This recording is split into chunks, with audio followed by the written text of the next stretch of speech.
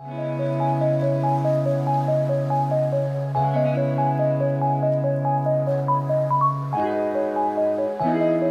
guys, today I'm going to be showing you how to make tandoori chicken in the oven. The chicken is infused with amazing tandoori flavor and you can serve this with rice, naan, salad, or it's even great by itself.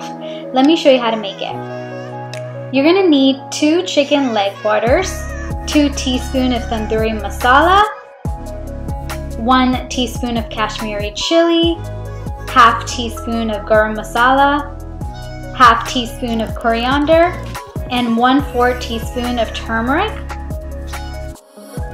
half teaspoon of pepper and 3 4 teaspoon of salt, 1 tablespoon of ginger garlic, the juice of half of a lime or a lemon, 4 tablespoons of yogurt, and 1 tablespoon of olive oil. Let's start by seasoning the chicken. So I got here two leg quarters that I cleaned, took the skin off, and also made cuts to get all of the flavors infused. So add in your spices,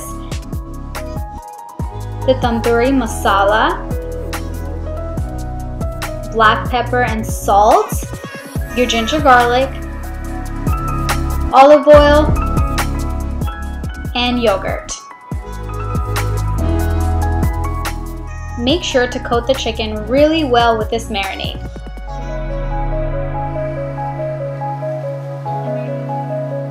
I actually forgot to add in the lime juice, so I'm adding it now.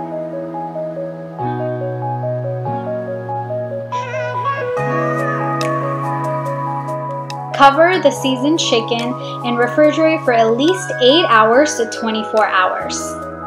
When it's time to bake, preheat the oven to 400 degrees Fahrenheit. Coat the pan that you're gonna bake the chicken in really well with oil. And then add the chicken quarters into the baking dish.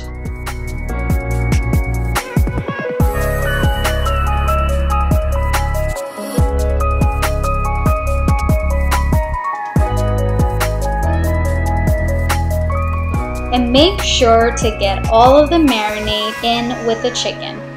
Now let's bake this for 30 minutes. Then increase the heat to 450 degrees and bake for another 20 minutes. Remove the cooked chicken from the oven and let it rest for 5 minutes. This tandoori chicken that's baked in the oven can't get any easier or better. The chicken is tender and has amazing smoky tandoori flavor. Please make sure to like, comment, share, and subscribe to see more delicious recipes. And don't forget to check out my previous recipes and I'll see y'all soon with a new recipe video. Thanks for watching. Bye!